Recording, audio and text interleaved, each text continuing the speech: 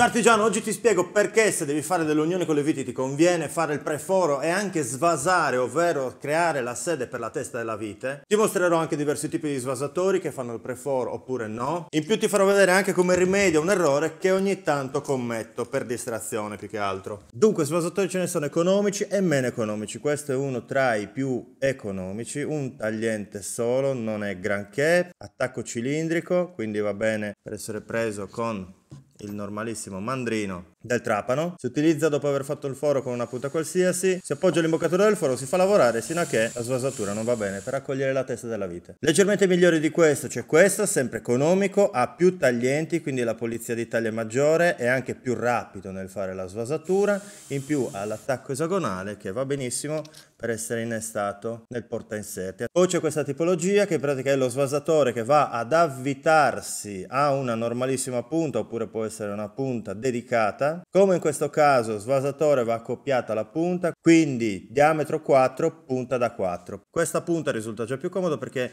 in una sola passata può fare il foro più la svasatura, ovviamente non ha una regolazione di profondità, quindi lì si va a occhio. La noia può essere dovuta all'attacco cilindrico che mi comporta il fatto che devo montare, smontare punta e porta inserti. Infine c'è questo, questo posso dire che è il migliore che ho, è quello che utilizzo di più. Con la punta, oltre a fare il preforo, riesco anche a svasare, inoltre questa plastica qui non è altro che un limitatore di profondità. L'attacco è molto particolare, è sia esagonale per essere montato in un qualsiasi porta inserti, ma soprattutto è fatto apposta per essere montato sui mandrini tipo Centrotech della Festool. Ovviamente essendo della festola ha una qualità di materiale nettamente diversa da quelli che ti ho fatto vedere prima, in più è completamente regolabile. Se noti qui ha una brugola, si vede attraverso questo foro, tra l'altro questo foro nella plastica, questo e questo, sono fatti per scaricare il trucciolo durante la fase di svasatura. Ti stavo dicendo questa brugola che c'è qua, se la svito mi dà l'opportunità di regolare la fuoriuscita della punta, quindi potrò fare un preforo più profondo meno profondo. La punta ovviamente è una punta dedicata, quindi si trova tranquillamente come ricambio della Festool. È una punta da 4,5, mentre questa brugola che c'è qui mi permette di regolare la fuoriuscita dello svasatore stesso, quindi io riesco a aumentare o diminuire la profondità della svasatura. Anche questo ovviamente si trova come pezzo di ricambio. Basta stringere bene queste due brugole e ti assicuro che questo svasatore lavora alla perfezione. Per dimostrarti come funziona questo e questo faccio due buchi. Questo è quello a un tagliente solo. E questo è sempre quello economico però con più taglienti. Entrambi hanno svasato, questo ha un tagliente solo, ovviamente ha avuto difficoltà a rimanere concentrico al foro, l'altro con più taglienti è rimasto più centrato sul foro. Il problema di questi due è che comunque non puoi controllarne la profondità se non a occhio. Quest'altro tipo, come ti ho già detto, unisce il fatto che può fare il foro insieme alla svasatura. Ovviamente se non a occhio non puoi controllare la profondità.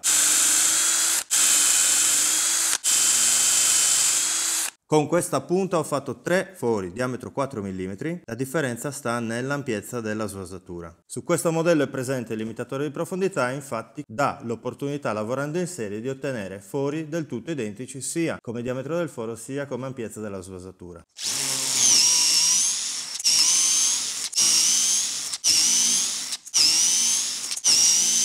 Nota come sono tutti perfettamente identici. Adesso tu ti chiederai, ma è assolutamente necessario fare il preforo con la svasatura se io devo unire due pezzi di legno? Non riesco a fare quest'unione anche senza il preforo? Utilizzando il preforo ti dico subito che uno riesce a essere molto più preciso, quindi la vite andrà dove vuoi tu e non dove vuole lei. La vite senza preforo, entrando in questo pezzo di legno, incontrerà una certa resistenza. Questa resistenza può fargli cambiare anche di poco, anche di un millimetro, la direzione la posizione. Questo può portare a un lavoro poco poco preciso. Inoltre senza preforo i due pezzi di legno che stai tentando di unire possono spaccarsi, soprattutto se stai lavorando sull'estremità di questi. Quindi visto che con il preforo si può evitare tranquillamente di spaccare la tavoletta all'estremità, ora c'è da dire una cosa, ma è obbligatorio fare la svasatura? La svasatura quando è obbligatoria? È obbligatoria soprattutto quando si tratta di lavorare con essenze molto dure. Al di sotto della svasatura della testa delle viti sono presenti delle alette, queste alette girando aiutano la testa a creare la propria svasatura. Questo non succede nelle essenze essenze molto dure come ad esempio nel faggio o altri tipi di essenze. E quindi può capitare che la testa rimane così, non va a filo del legno. Perciò ricorda, se lavori con essenze particolarmente dure, foro più svasatura. Come puoi notare la differenza cioè si vede qui senza svasatura, qui con la svasatura. Con diverse ampiezze di svasatura è possibile anche far entrare teste di viti più piccole sempre a filo legno. Ora ti chiederei che tipo di punta devo utilizzare per fare il preforo in base al tipo di vite che devo utilizzare per fare l'unione. Allora come mi regolo io? Se so che il preforo interesserà le due parti che dovrò unire, devo fare attenzione. Perché? Perché poi questo non deve essere di diametro uguale o maggiore alla filettatura della vite. Ad esempio, questa vite che ho qui in mano vado a misurare il diametro alla filettatura a 4,93. Io so che questa punta qui è 4,5, quindi la presa sarebbe veramente minima. Ma se vado a misurare il fusto, diciamo, della vite, ora non mi ricordo esattamente il termine tecnico, questo diametro scende a 3.14. Io non ho punte da 3.14, da 3 mm sì, però magari un po' troppo poco, quindi potrei tranquillamente utilizzare una punta da 3.5 mm. Sapendo poi che il diametro esterno alla filettatura è di 4.95 ho un buon margine, quindi so che la filettatura farà una buona presa nel legno. Allora, piccolo consiglio, devi fissare un legno, un qualsiasi pezzo di legno, un travetto con un tirafondo, quindi di conseguenza meglio se ci metti una rondella. Per fare questo hai bisogno di fare il foro per ospitare la rondella e la testa del tirafondo e in più il foro per far passare lo stesso tirafondo. In ordine si fa prima il foro Forstner, dopodiché quello passante. Cosa succede se fai l'inverso? Che poi non riuscirai a fare il foro Forstner. Cosa succede se il pezzo è quello, non puoi cambiarlo, non hai voglia di rifarlo? Che devi tentare di recuperare. Allora, vediamo cosa succede se faccio prima il foro passante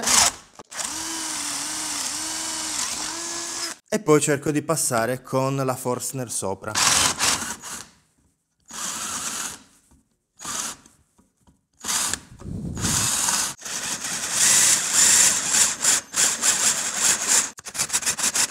È difficile ottenere i due fori concentrici. Posso riuscirci con un po' di fortuna, ma comunque non è proprio il metodo ideale. Voglio recuperare questo foro, quindi prendo una spina dello stesso diametro della punta che ho appena utilizzato, la batto dentro. Se andrò a appoggiare il centrino della punta Forstner sulla spina, riesco a lavorare meglio con la punta Forstner perché il centrino è in appoggio.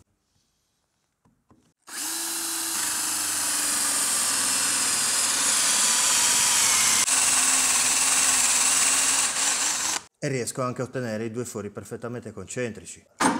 Premere, dare un colpo e il foro si libera dalla spina. Sono riuscito a rimediare al mio errore e quindi il tirafondo andrà dove avevo preventivato. Artigiano, un'ultima cosa, quando lavori con essenze dure come questo che è faggio, il preforo è assolutamente importante. Ora ti faccio capire perché.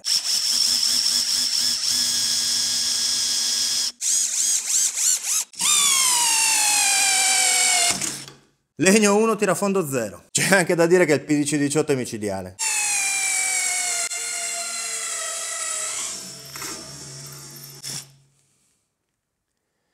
Artigiano con questo è veramente tutto, fammi sapere se il video ti è piaciuto, noi ci sentiamo domenica, quindi non mi resta che augurarti ancora buone feste, divertiti in queste vacanze natalizie, ti sei guardato i video che ho pubblicato ieri e l'altro ieri. Auguri, stammi bene, ciao Artigiano!